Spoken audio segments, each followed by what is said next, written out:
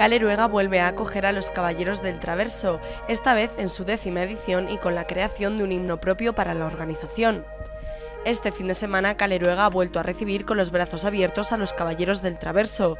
Los actos comenzaron el pasado sábado con el nombramiento de los nuevos caballeros, Estefano Parrino y Óscar de Manuel.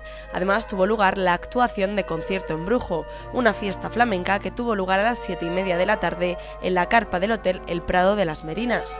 Una actuación por parte de Sandra Ruiz, Ricardo Bustamante, David Gadea y La Meligrana. El domingo los caballeros del Traverso impregnaron la iglesia del Real Monasterio de las Madres Dominicas a la una del mediodía con un variado repertorio. Vamos a escuchar música de cámara para, flauta y también este, música de diferentes compositores barrocos y también vamos a hacer cosas como La vida es bella, por ejemplo, este, unos regalos para, para el público.